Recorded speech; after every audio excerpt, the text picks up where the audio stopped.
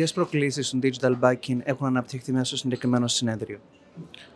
Να ευχαριστήσουμε την Πούσια για τη διοργάνωση του τέταρτου ε, Digital Banking and Payments Conference. Είναι ένα συνέδριο που δίνει τη δυνατότητα στους ομιλητές να, να αναδείξουν τη σημασία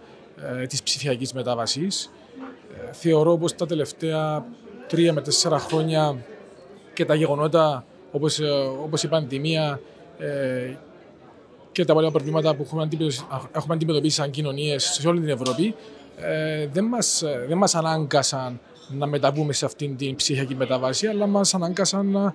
ε, να, να προχωρήσουμε με πιο γρήγορα βήματα, πιο, πιο γρήγορους ρυθμούς σε αυτήν την ψηφιακή μεταβάση. Δηλαδή η πανδημία έχει βοηθήσει άμεσα τις τράπεζες, γενικά τον τραπεζικό τομέα, να μετεξελιχθεί και να χρησιμοποιήσει το digital κομμάτι ε, περισσότερο, σωστά; Οι fintech εταιρείες έχουν δώσει την ευκαιρία σε όλο το τραπεζικό σύστημα να, να, να κάνουν τις, τις, τις, εργα, τις εργασίες και τις διαδικασίες πιο εύκολες, πιο γρήγορες, πιο ευέλικτες και έχουν δώσει την ευκαιρία στον καταναλωτή να μπορεί να διαπραγματεύεται ε, τε, τα, τις ανάγκες του σε, με, πιο, σε, με πιο σύγχρονους και εξελίξιμους ε, τρόπους.